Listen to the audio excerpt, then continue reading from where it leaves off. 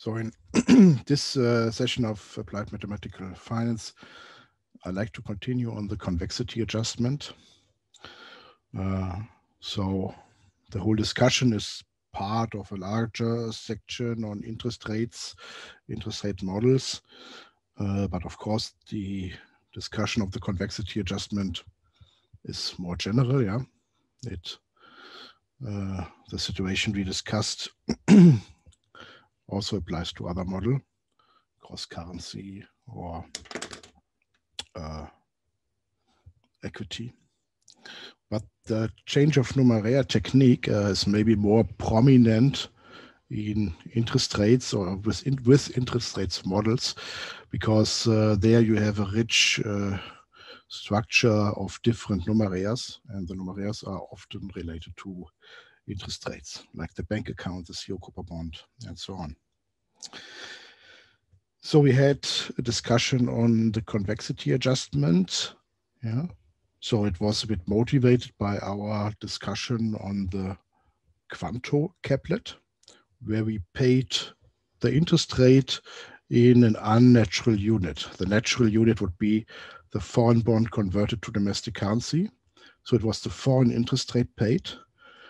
So then the natural unit would be the foreign interest rate, the foreign uh, currency converted to domestic currency. Uh, but it just did this conversion without the FX rate. So it was somewhat paying the foreign interest rate in units of the domestic zero coupon bond. And we saw that it, the valuation was similar to that of a caplet with an adjustment. Yeah, and the adjustment could also be inter interpreted as an adjustment of the initial value, which was due to our special choice for the of uh, for the model. And to understand what's going on, we took uh, a more general view. So in our more general view, we looked at uh, paying in units of M. So there was VN, the value VN, that pays an index x or a function of this index x.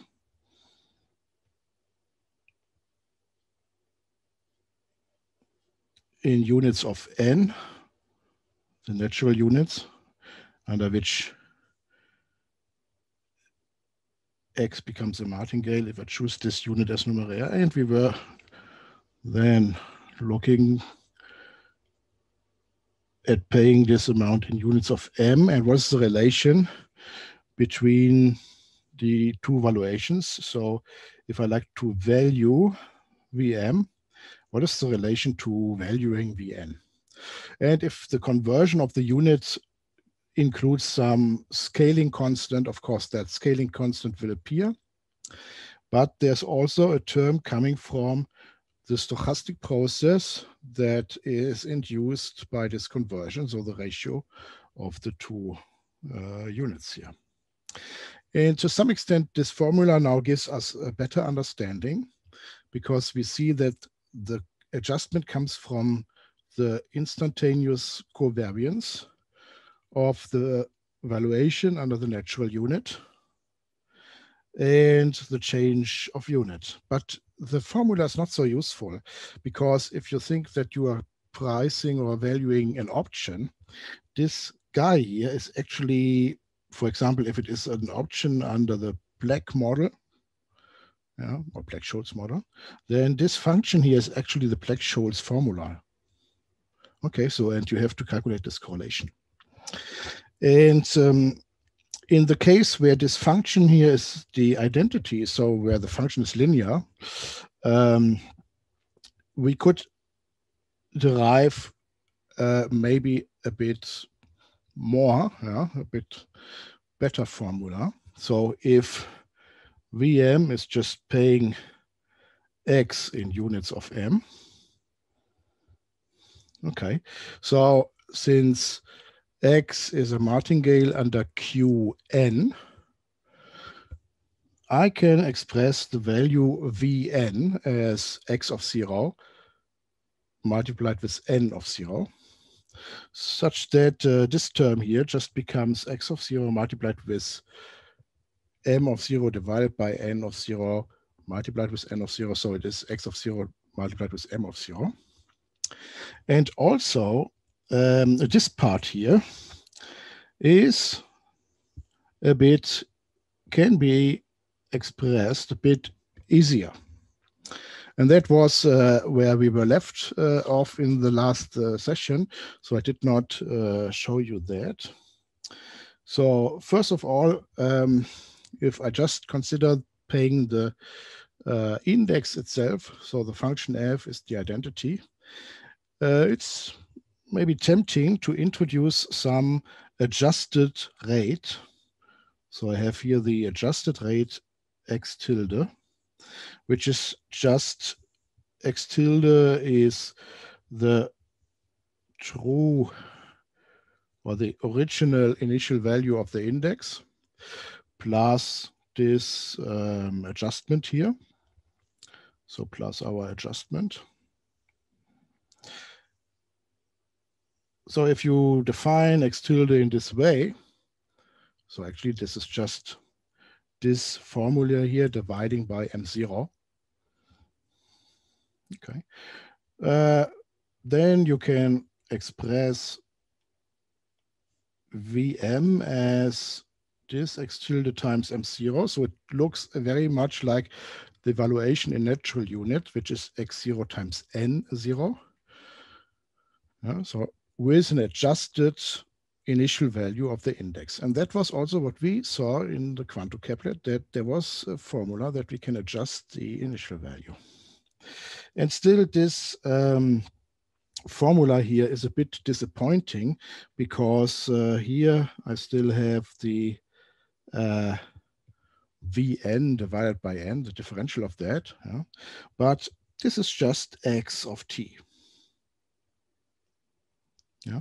So we are in the case where Vn of t is just x of capital T times n of t. Yeah. So f is the identity here. This is the case that f is the identity. So this is just x of t. And you see that this adjusted rate is exactly as we had it for the QuantoCaplet. So for our example that motivated a bit this session, uh, it is the original rate plus the integrated instantaneous covariance of the index and the conversion of the units. And for the Quanto, the last part, whoops, for the Quanto, the last part was the uh, FX forward, forward FX rate. Okay. So actually there's T0 here, so maybe I should mention that T0 is zero. Okay. Um, well, if you look at the Quanto, it was x0 multiplied with the exponential of something like that. And uh, this was because it was, uh, x is a log normal process. There was uh, an x uh, inside here dx is x sigma dw, and there was an m divided by n here. df of x is f of x sigma dw. Uh, so we moved to the logarithm and got the same formula with the exponential. And then in the Quanto, the nice thing was that actually this, this was here a deterministic integral. Yeah. So it was just sigma, sigma rho dt so there was nothing stochastic. So actually the expectation uh, vanishes, so it's not there. Yeah, it, this, this guy here is a constant. And that this guy here was a, is a constant in the case of the Quanto was the special choice of our model. So in some situations, you can go further and derive nice formulas. And uh, so this is what I like to do uh, today, and then we can review all the examples again. So we can derive nice formulas if we know a little bit more about these processes here. And uh, if uh, some coefficients are uh, deterministic, because then I can drop this expectation. And then I can also derive a very general formula for the case where f is not the identity uh, by just observing that uh, the change of measure is just a shift of the initial value of the distribution of uh, x. Okay, so let's let's do this. So I like to look at uh, special cases. So I look at the convexity adjustment if the two involved processes are log normal processes. So x and dm divided by n is log normal. Uh, you can also derive this stuff if, for example, x is normal. Yeah, it's uh, uh, similar. So either you get here plus adjustment or you get multiplied with exponential of an adjustment. And the second thing uh, I like to look uh, at is uh, the adjustment for European payoffs, so European products. So this means that uh, uh, f of x is not, say, linear. Yeah, so it's, for example, the maximum function, like we have it in an option. Um, so the European just refers to f as a function of x at a single point in time. And then in the end, I can discuss here a few uh, examples, the forward in arrears, the Quanto and the CMS.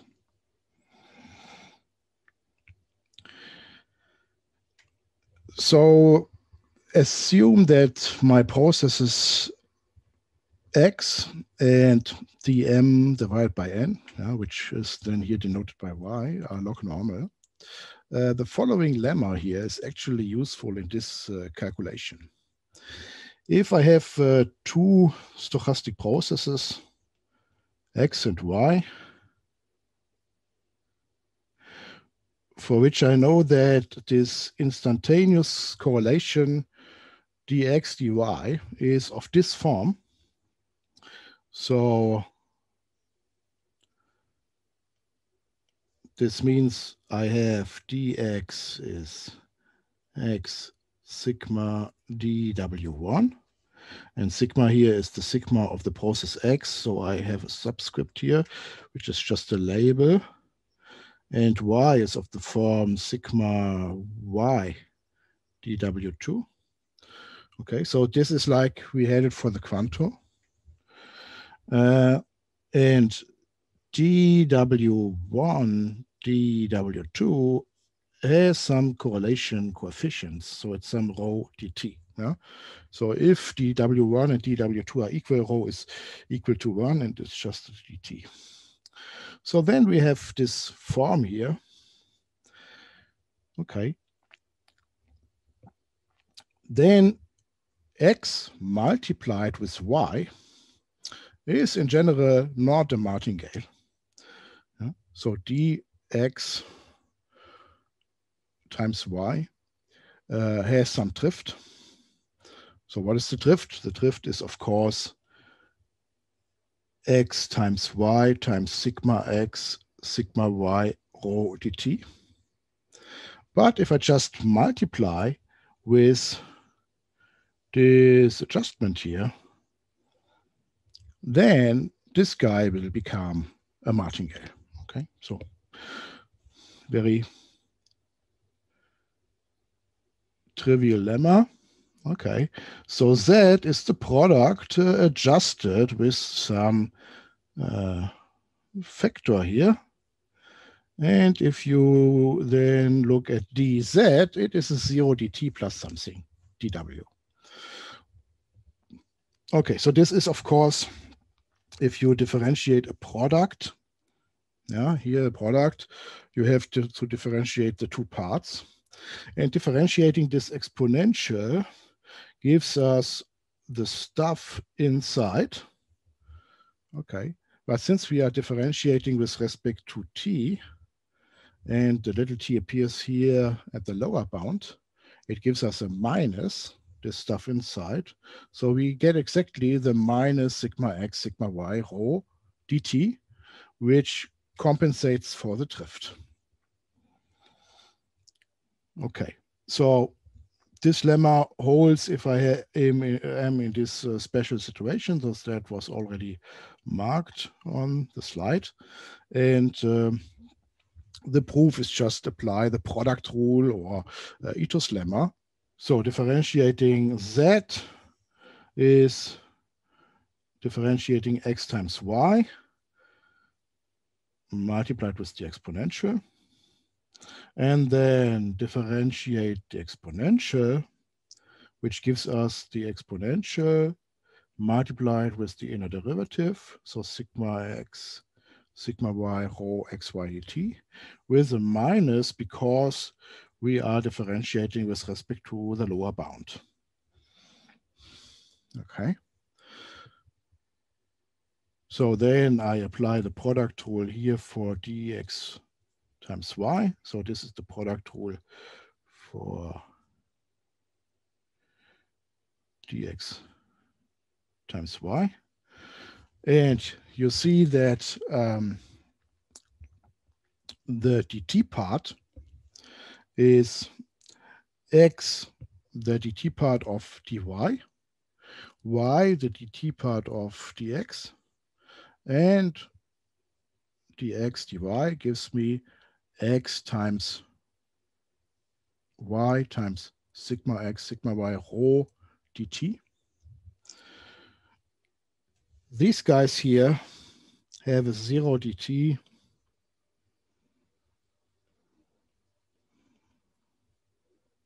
plus something dw because I assumed in the lemma that x and y are themselves martingales. Okay. So only this part here contributes. And I have that uh, this guy here cancels. This guy here cancels with this part. Okay, so that is a martingale.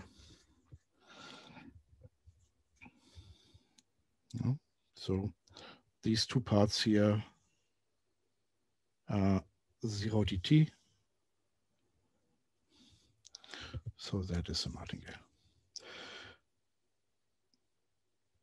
Okay, so in this situation, uh, we can maybe uh, generalize a little bit our convexity adjustment formula.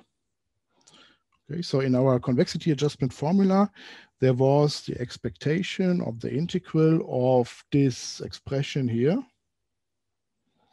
And now I assume that this expression, which is under the integral inside the expectation of the convexity adjustment formula, so of the convexity adjustment term, has exactly this uh, structure. So this guy here is my x, and this guy here is my y from this lemma. And I can express now dx dy by x times y times uh, this instantaneous covariance term. Okay, if I if I'm in this uh, situation and I would like to calculate now the value of VM of zero. So paying in units of M. So then I replace Vm by Vn. So if I like to replace that, I have a Vn here divided by n. This is the x, x of t or f of x of t. Vn of t divided by n of t is the stuff, the coupon that I pay.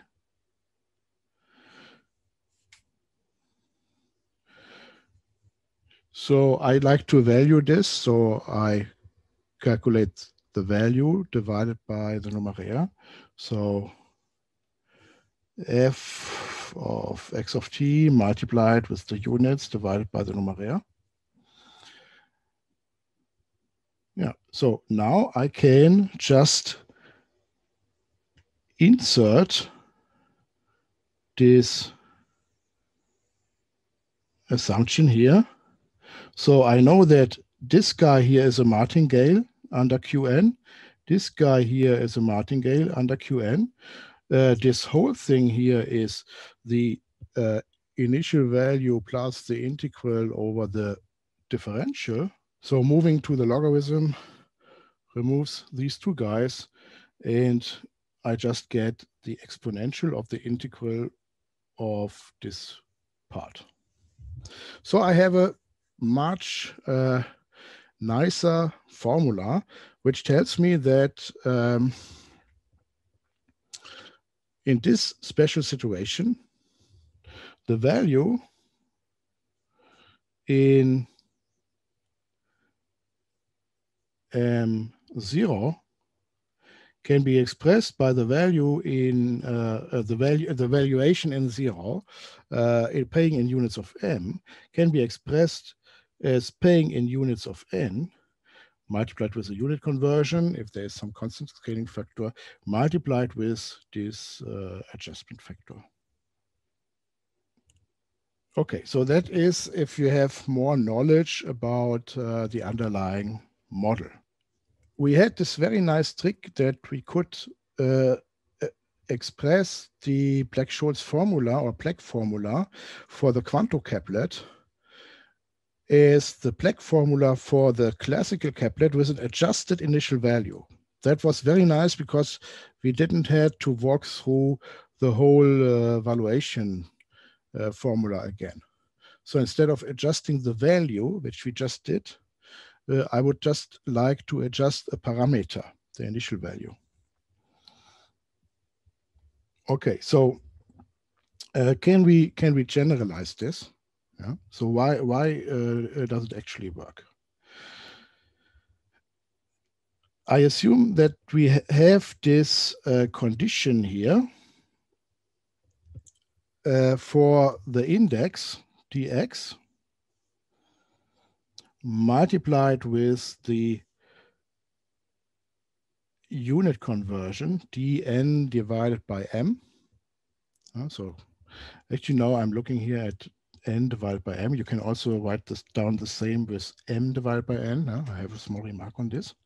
And I assume that I have, again, the structure that dx times dn divided by m is x times n divided by m some gamma dt. So this gamma here corresponds to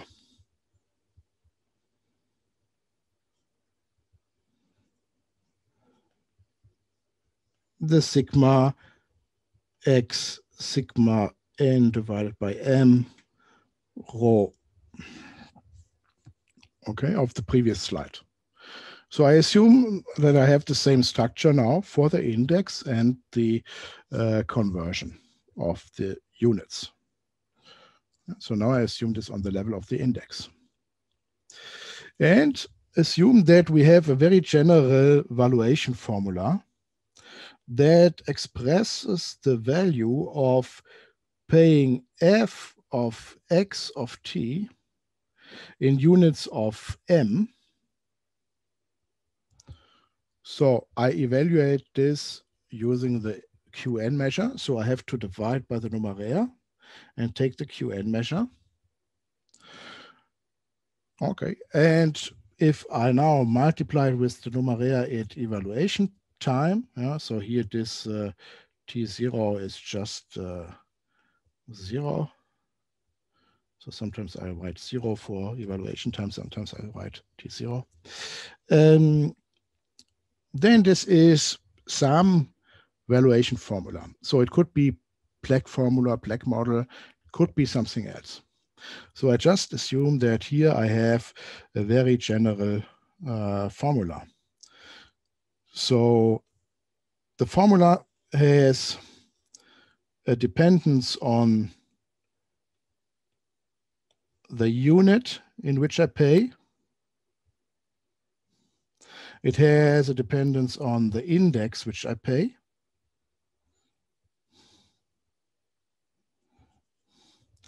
And it also has a dependence on the model that is modeling the index. So how should I write this? Maybe I just write it uh, with a certain symbol. So this sigma here should denote the model, the stochasticity of the index. I'm not saying if it is normal, log normal. So there is some dependency on the model here of this uh, index. So this sigma just determines somehow the distribution of x. Of course, and there is a dependence on the function that you pay and that's the valuation. Yeah. So all the rest here is just risk neutral valuation under the QN measure. But the dependence on the valuation formula is these four parameters. Uh, so what is the initial value of the index? What is the model of the, of the index? What is the payoff function? And what is the payoff unit? So this is um, my valuation function could be any analytic function, yeah, or even a numerical algorithm. Hmm, could be also a numerical algorithm.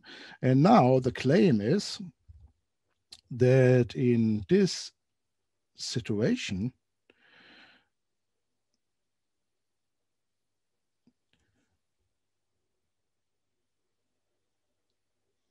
the value paying this in units of m can be expressed by the value paying in units of n. Okay, so it's the it's just the other valuation formula that that values paying in units of n, where you maybe have to add some scaling factor if these units contain a scaling factor with a modified initial value. So with a modified initial value, x tilde. This x tilde is just the initial value of x adjusted with some adjustment factor, which is exponential minus integral of uh, this gamma here.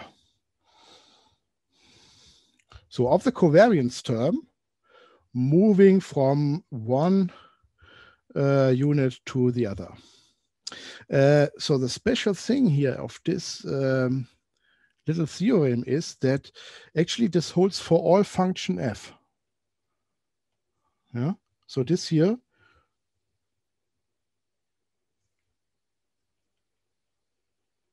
holds for all f. So it's enough to modify the initial value and uh, if you pay now a digital option or a call option, a put option with different strikes, yeah, it's just enough to modify the initial value if you modify the unit. Well, this is a quite nice uh, result. So that was uh, underneath that we didn't need to derive uh, the analytic formula for the Quanto caplet because it was just black formula for the foreign caplet with an adjusted initial value. So can we prove this? So first of all, uh, this um, condition here, yeah, the covariance of x and the conversion n divided by m is gamma dt, yeah. So in log coordinates. Um, the log uh, instantaneous covariance. So this, uh, if, if you flip this here, m divided by n, it will be just minus gamma. Now this is because if you apply Ito's lemma to 1 divided by x, uh, you get in the diffusion a minus uh, sigma dw. Okay, so if you flip here this from n divided by m to m divided by n, uh, you have the same condition with a minus. So you can either prove it, uh, you, you can prove this in, in either way. And uh, for the FFX, I believe we had uh, the look at n divided by m. So it was the natural numeraire divided by the um, unnatural one. So for the Quanto, it was the foreign bond paid in domestic currency, which, which was the natural uh, numeraire for the uh, foreign interest rate divided by the domestic bond. But so you can just uh, apply this lemma also in the other case where you go in the other direction. So what do we do? I define the stochastic process x tilde that is x multiplied with the exponential of the integral from little t to capital T gamma of tau d tau with a minus in front. So uh, note that this adjustment is such that at time capital T, so when I perform the payment, yeah, so here inside is f of x of capital T, the two agree.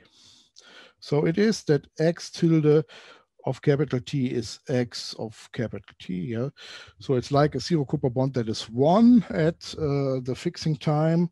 Uh, so um, this is because if I plug in little t equals capital T, this is the integral from capital T to capital T. It's exponential of zero, it's, it's one.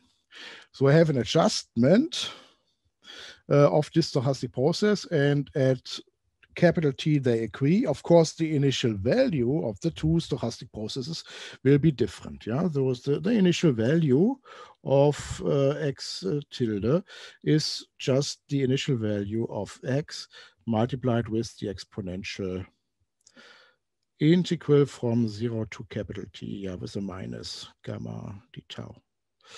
Okay, so well, what is the relation between these two stochastic processes? So actually we assume that X is a martingale, uh, X uh, is a martingale under Qn, but um, if it has a drift, yeah, so maybe it looks like this, yeah, so under Qn. So if you then move to the measure M, yeah, so your change of measure moving from N to M yeah, is exactly here. so actually this moving to a different measure, so under QM, I get a drift adjustment. Yeah, so this is just Girsanov theorem. Well, you can also just uh, derive it. So now if I replace x with x tilde, hmm, so I differentiate now dx tilde. So what is dx tilde? So this is dx multiplied with the exponential. And then differentiating x tilde has this dx multiplied with the exponential, but also x multiplied with differential, differentiate the exponential. I differentiate the exponential gives me the exponential. So this is x tilde then, so x with the exponential. The inner derivative is minus differentiate the integral, but it's the lower bound here, so it is plus gamma. So it is then minus gamma plus gamma, so it is mu. So I see that x tilde uh, looks under qm, dx tilde mu x tilde sigma x x tilde dw. So dx tilde equals mu x tilde dt plus sigma x x tilde dw looks under qm as x looks under qn. So this means that the distribution of x tilde under qm agrees with the distribution of x of t under qn if the initial if the initial value of the two would be the same. Yeah? Because this here just describes that the change of the initial value is the same. So of course I have that um, x at capital T is the initial value plus the integral dx of t. Yeah. So, and I have the same for uh, x tilde.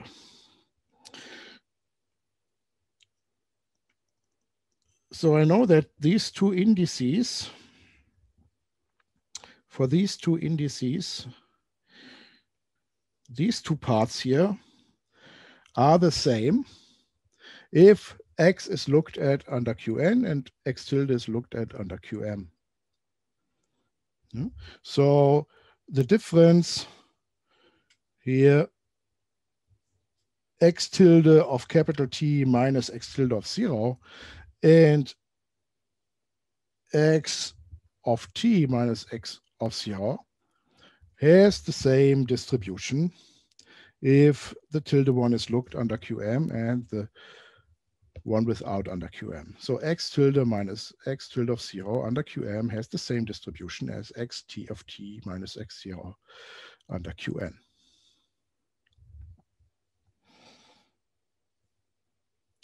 So now I can use this information and, and plug this in in the uh, valuation formula.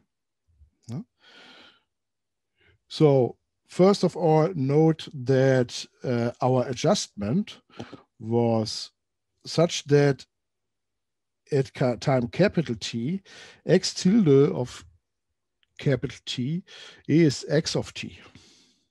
So here in this, um, actually I can first say add plus x tilde of zero to it.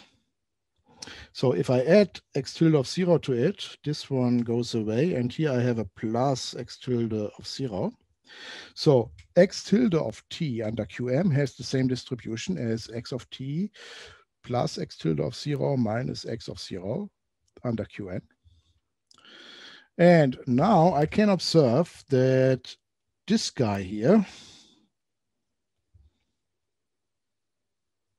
is actually equal to x of capital T, yeah, because of this here.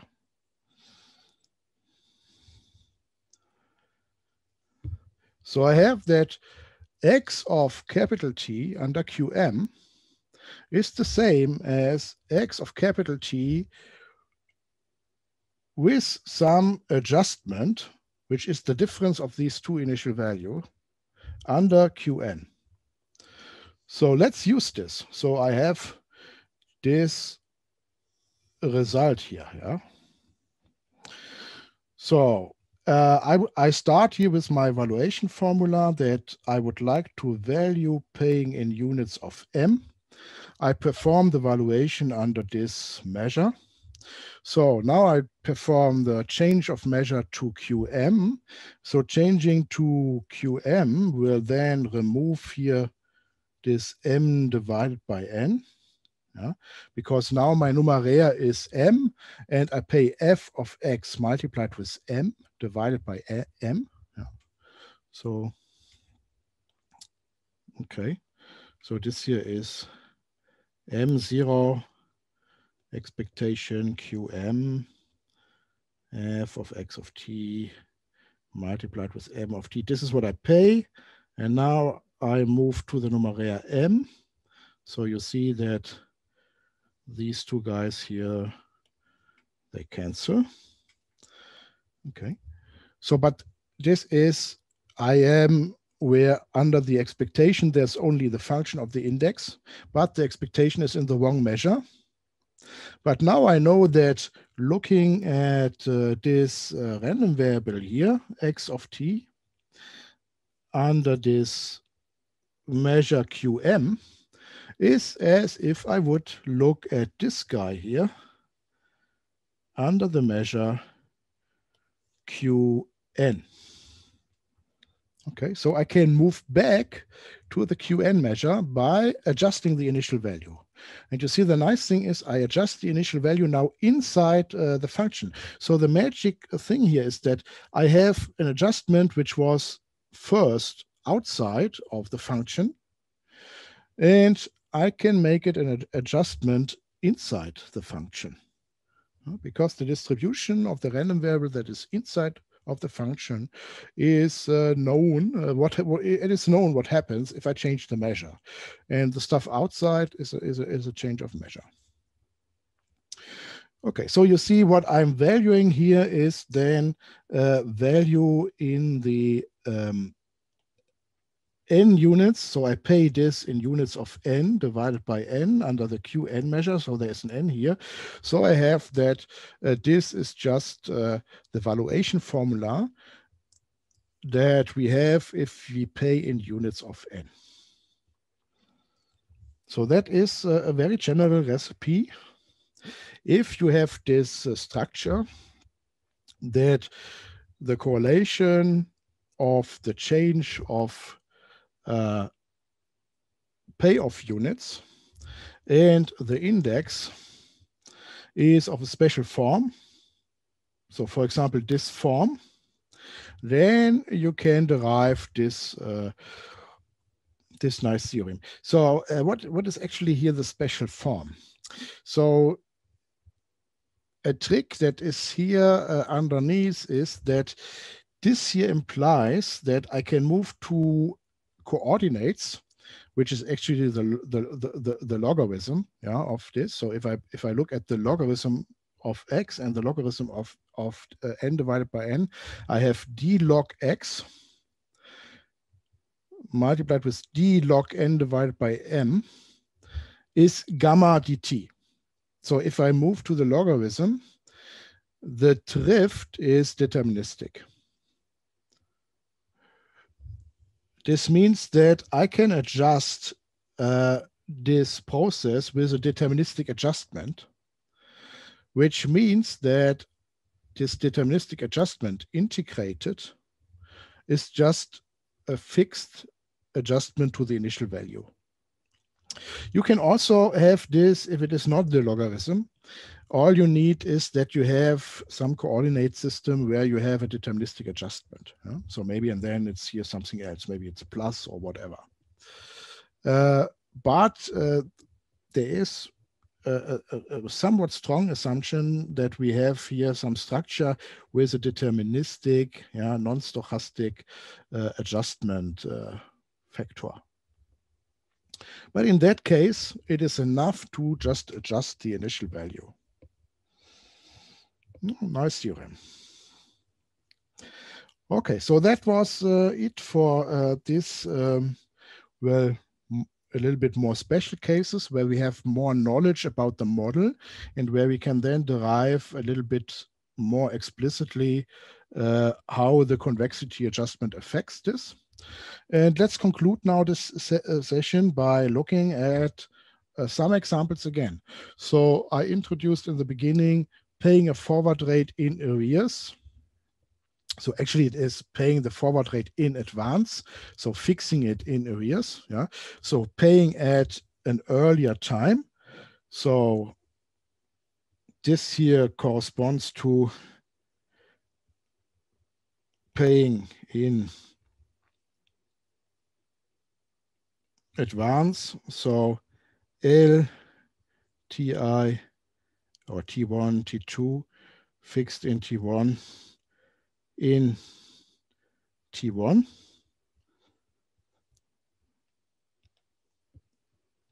So there is a convexity adjustment if I pay in in in in a zero coupon bond that is not one at the end of the period. It's one at the beginning of the period. So I move earlier. No? You can also derive the same if you move to a later point. Uh, and then there was the Quanto uh, uh adjustment. So the Quanto was that uh, paying in a different currency.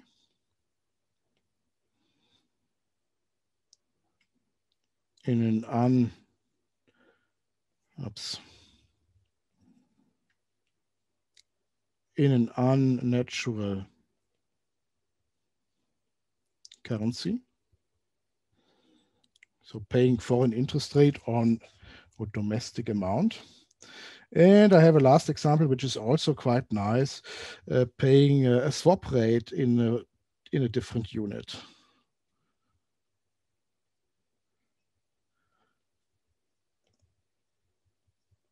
Oops, why is it so ugly here?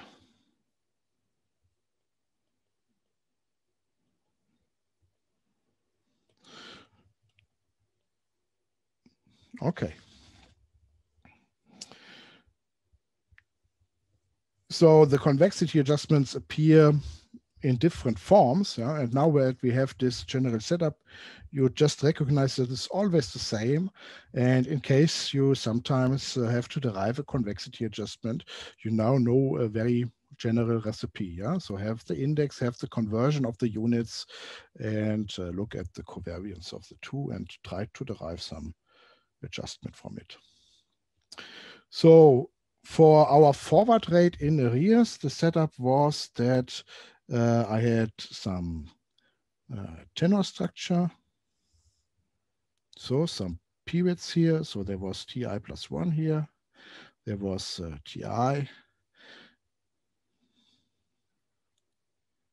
Yeah, so there was the interest rate for this period and it was paid instead of at the natural point, it was paid here.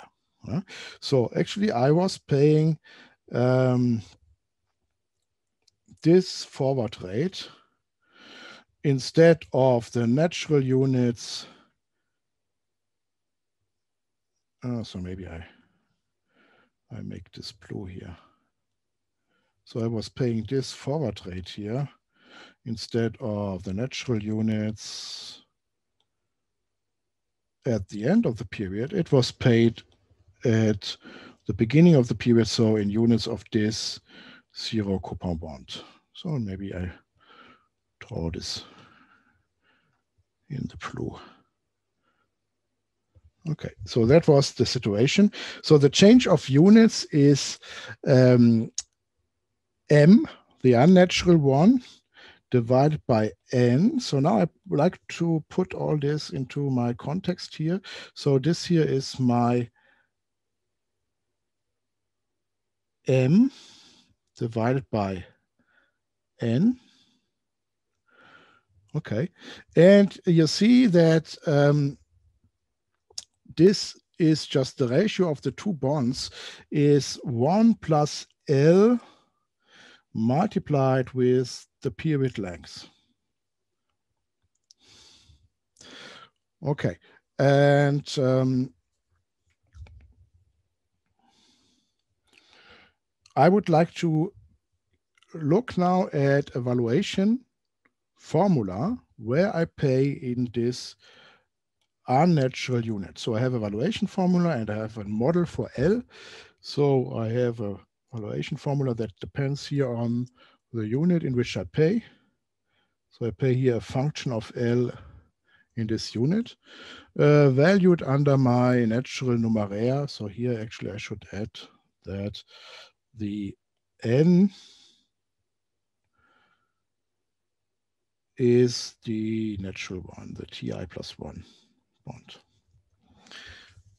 Okay, so that was the situation which we had if a forward rate is is paid actually in uh, advanced, yeah, so fixed in arrears, if you consider it as being the rate for this uh, period. There was this uh, two ways of interpreting it.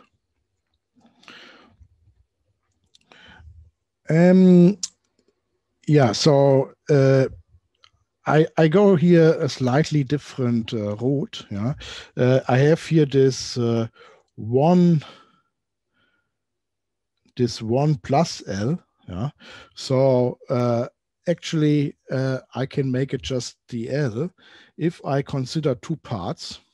So the first part is I pay in units of P T I plus one and the second part is uh, I pay in units of PTI minus TI plus one. So you see clearly here, uh, this uh, valuation here is linear in, in this. Yeah, this is just here uh, outside of the function f. I will use here this number 103 that I can actually split the payment at the beginning of the period by uh, payment at the end of the period plus uh, paying the difference. I assume a log normal process. So that was also what we did when we looked uh, um, in the LIBOR in arrears or in the forward rate in arrears. So I assume uh, a log normal process. Uh, so that corresponds to a black model or, or a LIBOR market model So some log normal model for the forward rate. DLI is Li sigma i dwi. So I assume this under Qn, where n is the bond that matures at the end of the period. So you know that this is a martingale under this measure. Huh? L is the traded asset divided by the numeraire. So there is no DT part. Huh? So I already know that how L looks like. And um, well, now we choose M as the payoff unit PTI minus PTI plus one. So this here is now my M. I just look at the second part because the first part is in paid in natural unit. So we just uh, consider here uh, what's going on in this part here. So this here is my M. Then the natural unit is the bond that pays at the end. And M divided by N is just the bond that pays at the beginning of the period minus the bond that pays at the end of the period divided by the bond that pays at the end of the period. This is just L times the period length. This is just the definition of L, which is here. So this means that DLI dm divided by n is just DLI DLI times the period length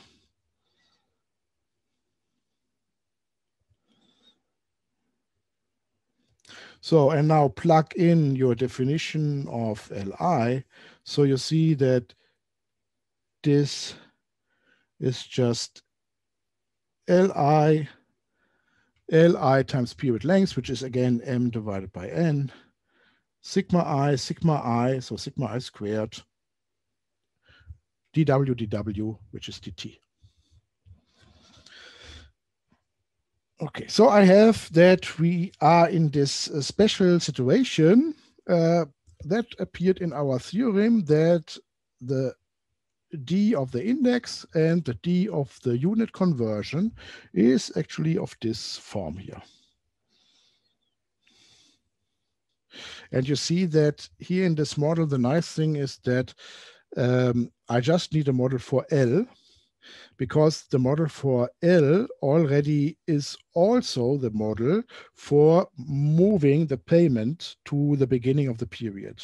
Yeah, because L is exactly the interest rate for this period.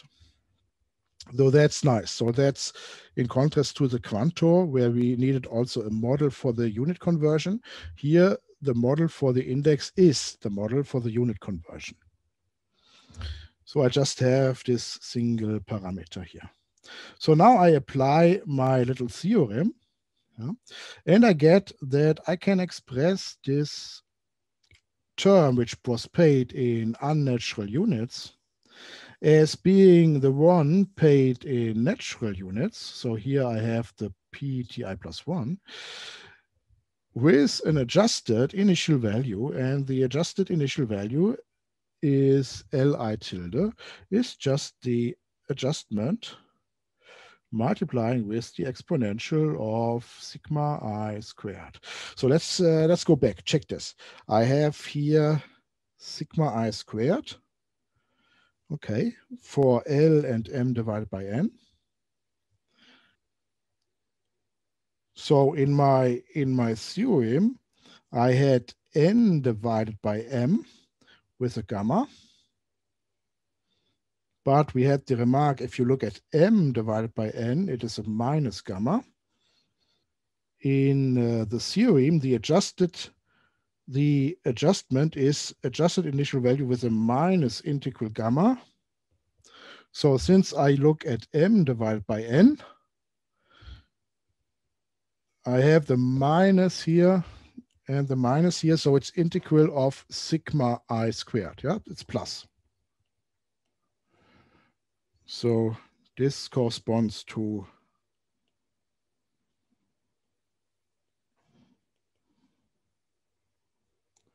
gamma is minus sigma i squared in the theorem.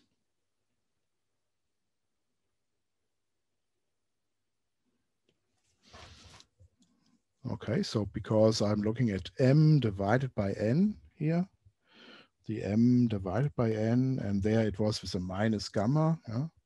So minus gamma is sigma i squared. And you recover this uh, convexity adjustment of the in arrears payment. Yeah, so if you move to an earlier point,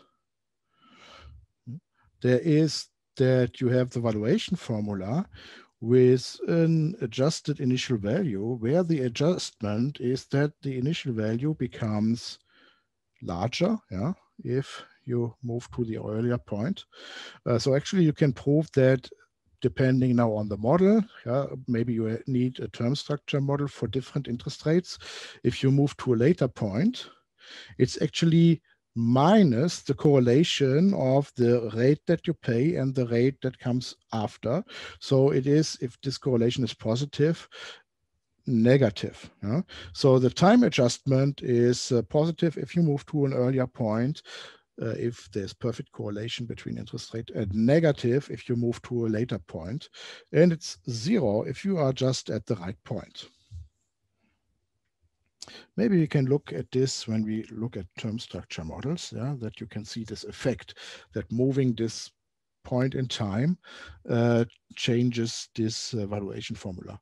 Uh, of course, it changes also the valuation formula because moving the point in time changes the discount factor. So changes the zero coupon bond that is on the outside of the formula. And that is already here. Okay, that is the change of uh, paying at a different time. And this change here is in addition if there is stochastic interest rates. Okay, so mm, do we have actually a, a, a, um, an intuition why this is the case?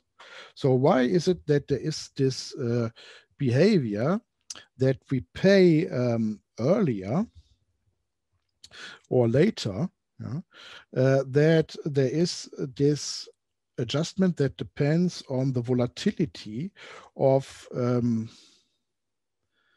the index and this uh, unit. Hmm. So it's actually that the payment, maybe I make this here as a remark, yeah. So the payment is I pay an interest rate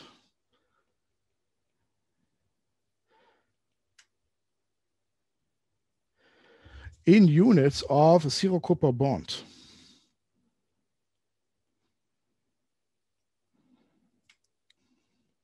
So this is the natural payment.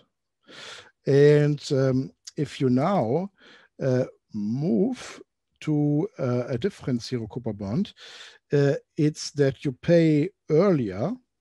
So there is so, so the um, the discount factor, so the zero coupon bond that is associated with the payment is actually increasing.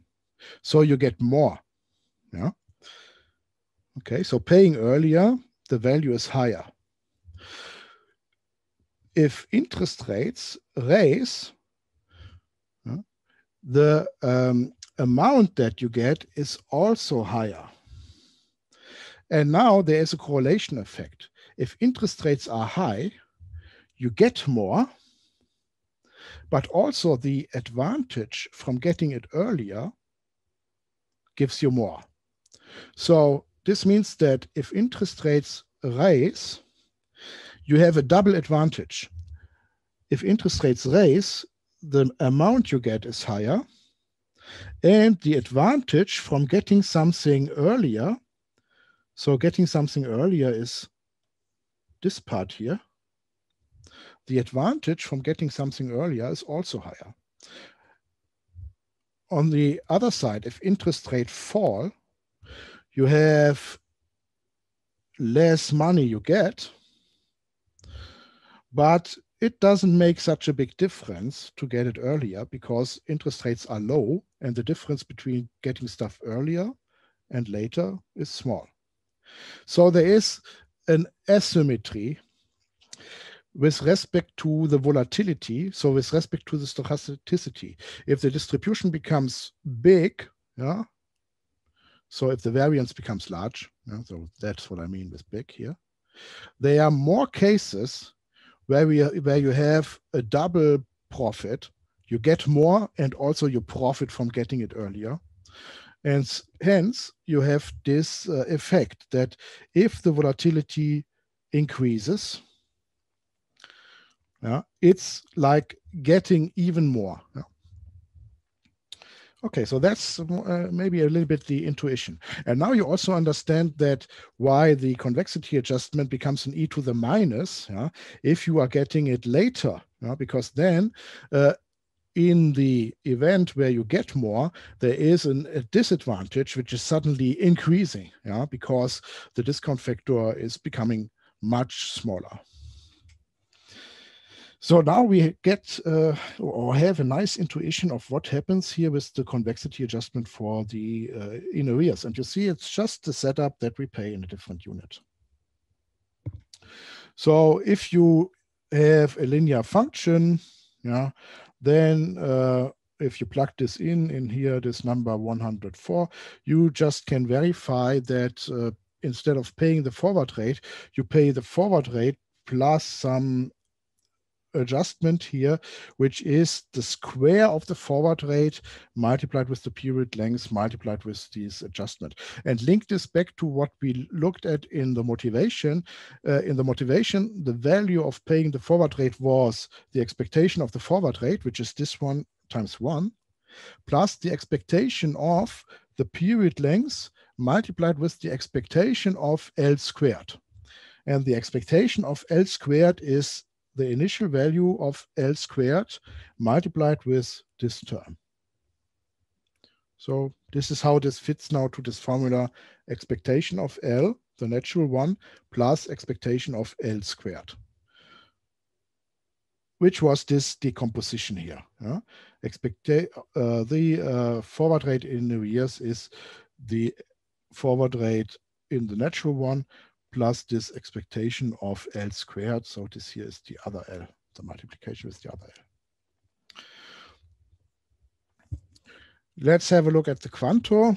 Uh, so the Quanto is the situation where the um, natural payment would be paying foreign currency converted to domestic currency.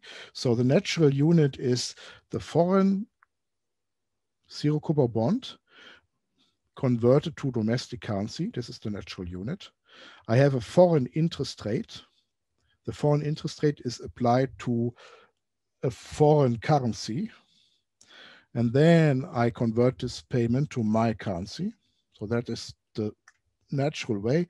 And uh, in the Quanto, we just pay the foreign interest rate on a domestic amount. Yeah, which is uh, which looks a little bit strange, but this product uh, exists.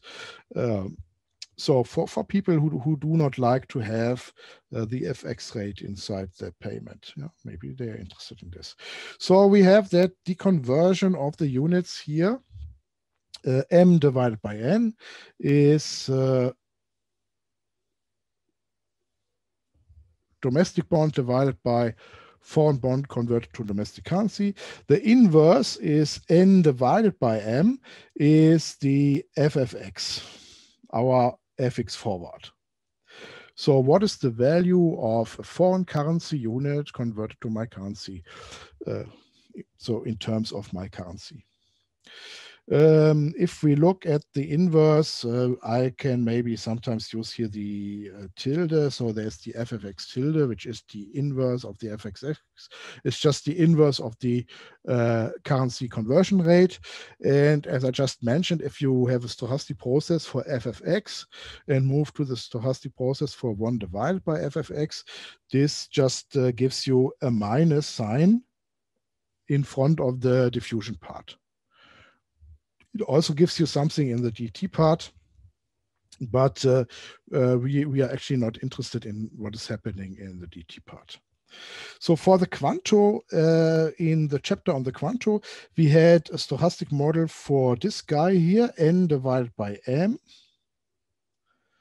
And we had a, uh, had a model for L, L tilde, the foreign interest rate. So our model was that both were log normal processes. And there we had that the um, instantaneous covariance term, DLI, the foreign interest rate, multiplied with DFX, the forward uh, currency exchange rate, was Li FFX sigma uh, sigma FFX rho dt. So we have here that our gamma is, so this here is our gamma. The gamma in the theorem is now this, the instantaneous covariance of the foreign interest rate and the forward exchange rate. And now it's uh, it's uh, gamma with the correct sign because here the guy is um, n divided by m. So let me check. So here in the theorem, the assumption was what is the term dx, dn divided by m? So the assumption was that it's gamma, and then we had a minus gamma here. So n divided by m here. So n divided by m here. So for the Quanto, we had this uh, model assumption here. So the model assumption. So that is our gamma. So the uh, adjustment for the initial value of L, so L tilde, L tilde is the x.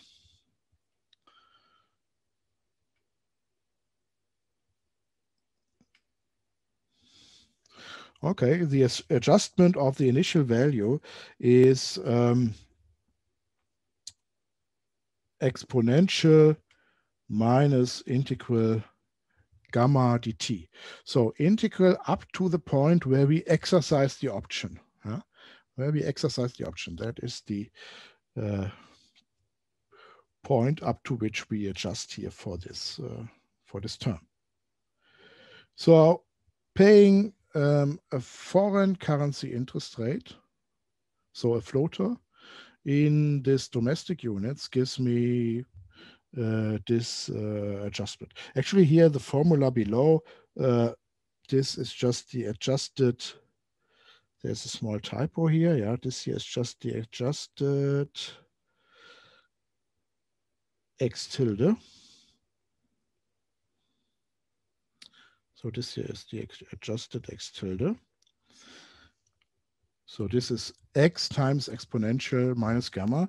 And if I have the valuation, there is here multiplied. So I have to fix the, the one uh, with m of zero. Okay, so multiplied with the zero coupon bond in domestic currency. Uh, so paying the foreign interest rate in domestic currency gives me this multiplicative adjustment factor with the exponential here. Okay, so um, and that was our uh, Quanto adjustment. Yeah, so our Quanto adjustment is x tilde of zero is x of 0 multiplied with exponential minus integral uh, sigma li sigma f of x or dt.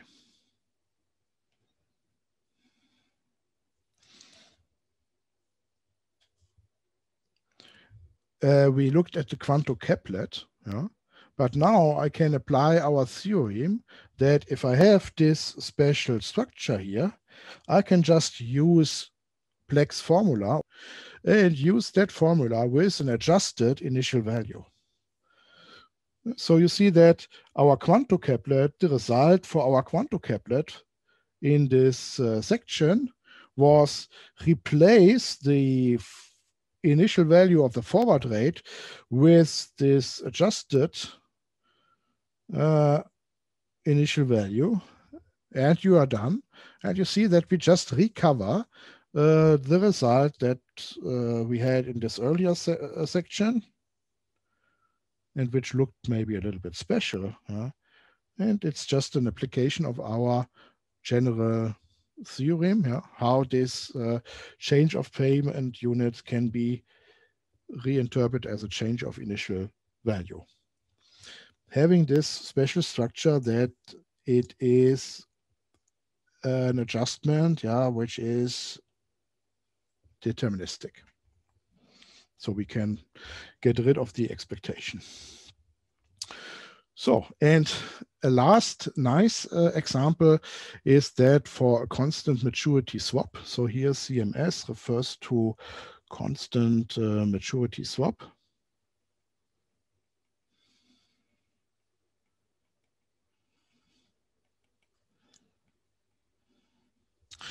And uh, this is a little bit different from the previous ones because uh, here um, in the previous setup, I often had very special models where the relation of the index and the change uh, was, well, very simple. Yeah. So it was just maybe in log coordinates here a constant uh, adjustment to the drift, a deterministic adjustment to the drift. But often you are not in this special situation. But then sometimes you can approximate uh, the change in drift with a constant and then derive an adjustment under this approximation assumption. And this is what I like to do here. So it is more general uh, for the constant maturity swap. And uh, you, you again see maybe a nice recipe how you can uh, uh, uh derive now approximated convexity adjustments. So adjustments that are not 100% correct because in your model, there is some um, approximation. First, what is a constant maturity swap? So let's uh, consider here some uh, tenor structure. So I have periods and I have a swap on this tenor structure. But now assume that I look at the swap that runs from tk to tk plus m. Yeah? So here is my tenor structure and you look at a swap, maybe the swap has uh, three periods from here to here. Yeah, so this here is my TK and this here is my TK plus M. And then you do this for different case. So the next one is that you look at the swap that starts here and also has three periods.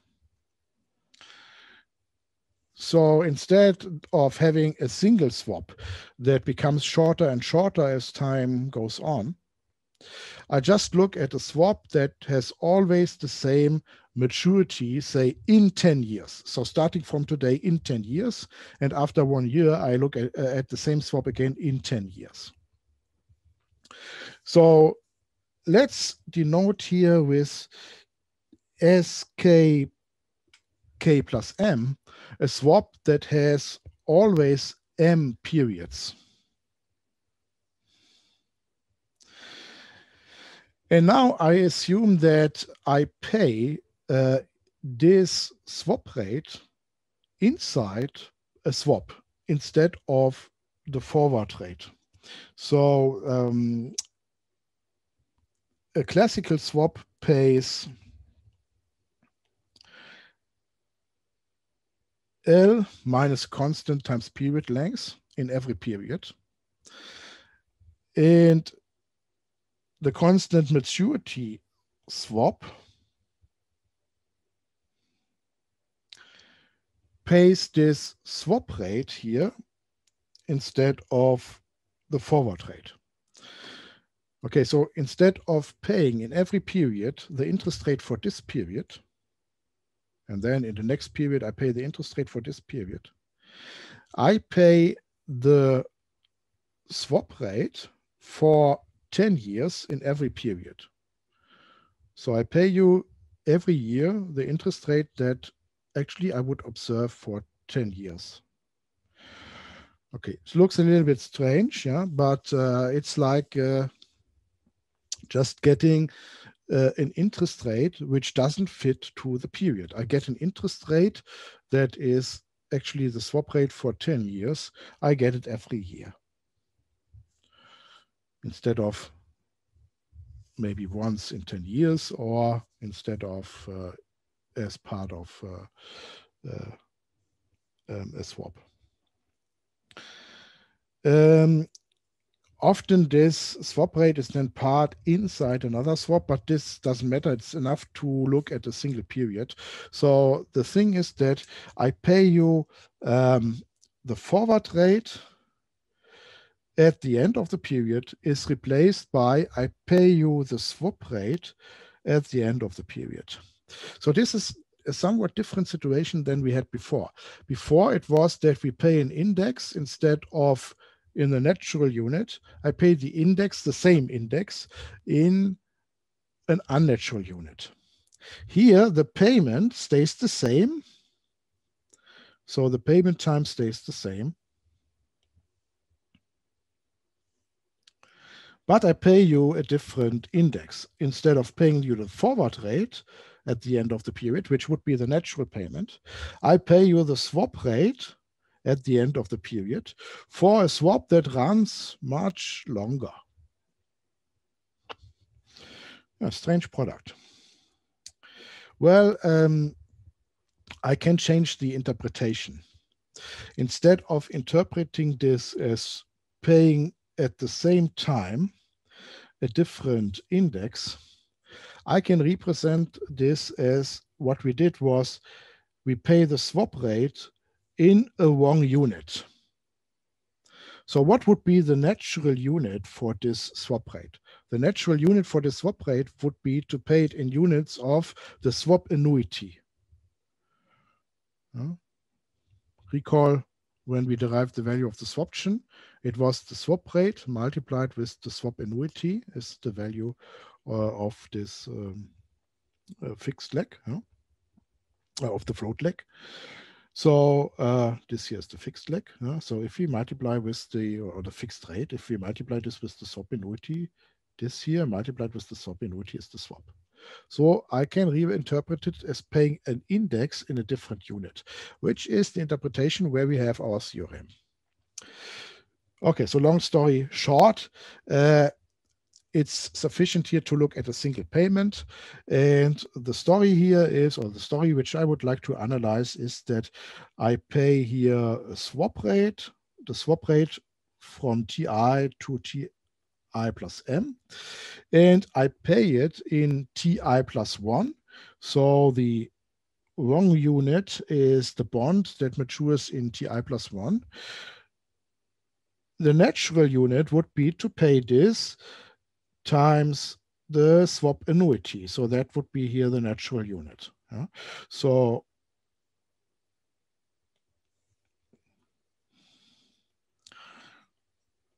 note that the swap rate from TI to TI plus M is a QA martingale with a of t is the swap annuity for this corresponding swap rate. So the swap annuity was just here j from i to i plus m minus 1, all the periods times the zero coupon bond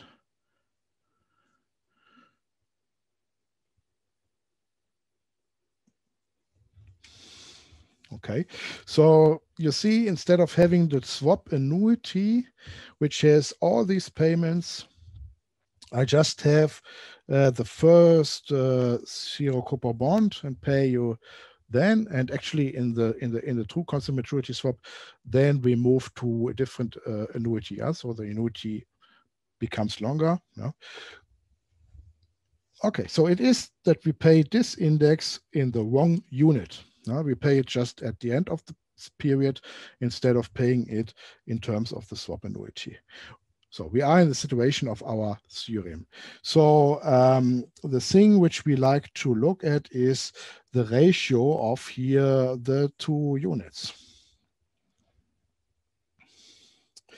So I have the ratio of the a bond with maturity capital T. Uh, so let's just call it capital T here. Uh, so this is my um, Ti plus one.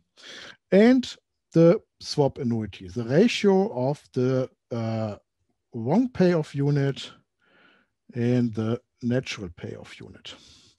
And unfortunately, so here, so for the um, forward rate in arrears, where I also was paying in a different unit, namely it was a different bond, there it was the nice situation that this other bond, so the ratio of the natural one and the unnatural one uh, was actually just a function of the forward rate. It was 1 plus L times period length.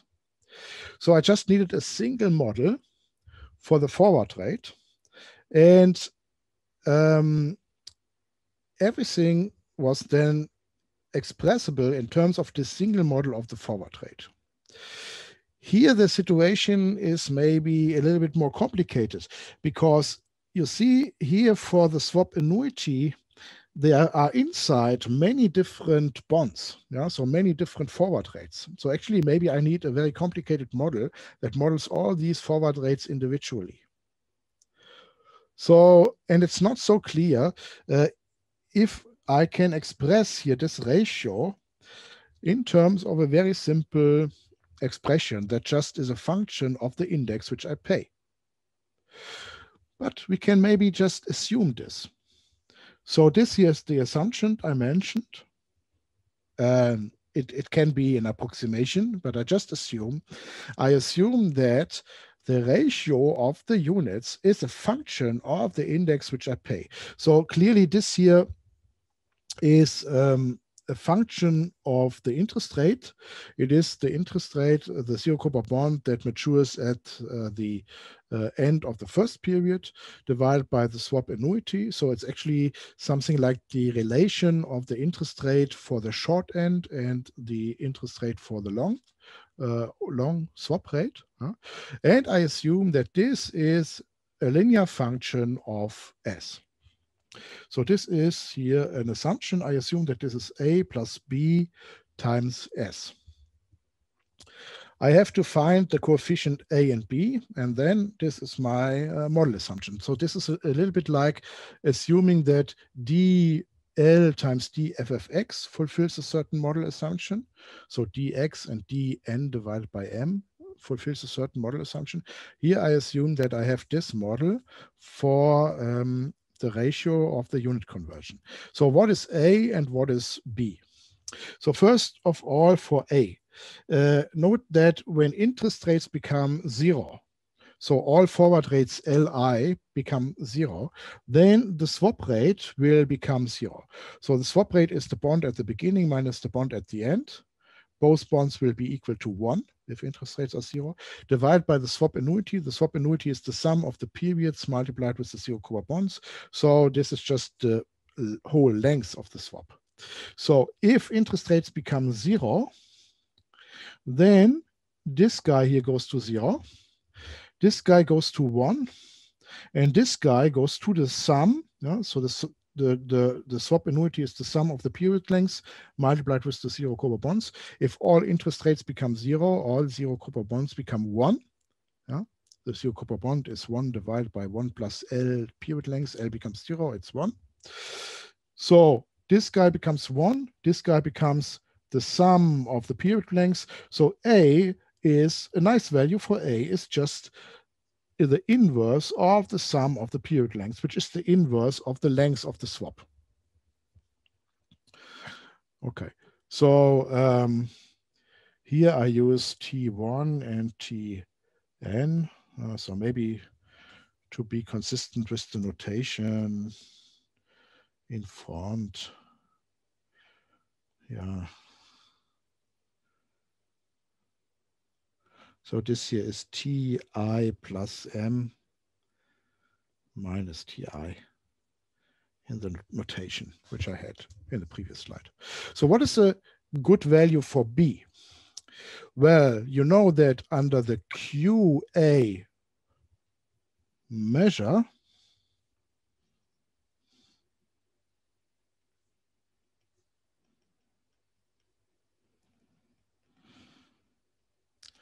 under the QA measure, this guy here is a martingale. This guy is also the martingale. So the expectation of the two have to agree.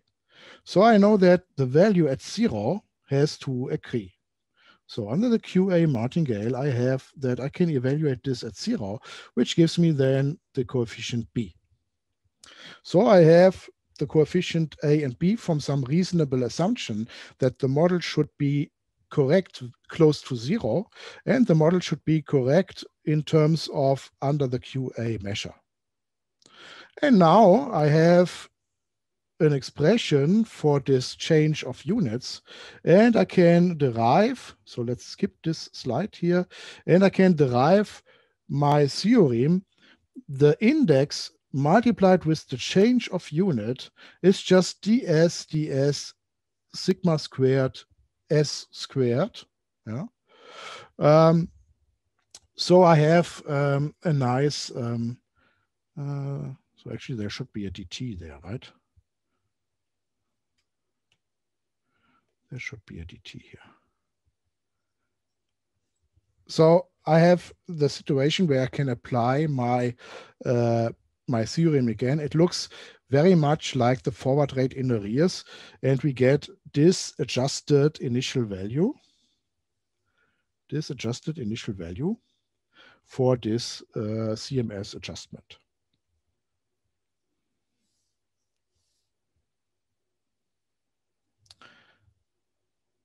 Yeah, so very similar to the paying the forward rate in arrears. Yeah, so here paying the swap rate uh, instead of distributed over all periods, I pay everything at the beginning of the period. So it is that again that I get stuff earlier. So instead of paying everything distributed across the period, which would be the annuity, I pay everything at the end of the first period. So except for the first period, all the stuff becomes earlier. And I have that this is like increasing the value of the swap rate. So that was a nice example where you see that you can also apply this if this model between the unit change and the index is uh, maybe not completely clear. Yeah, maybe you can derive a model or you can plug in a model assumption. And then under this model assumption, you get such a, such a formula.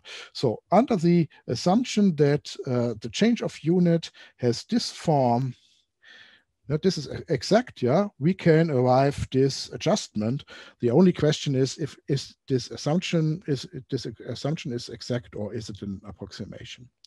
So this is the so-called Hunt-Kennedy adjustment for a CMS swap. And that uh, maybe concludes the session on convexity adjustments. Thanks.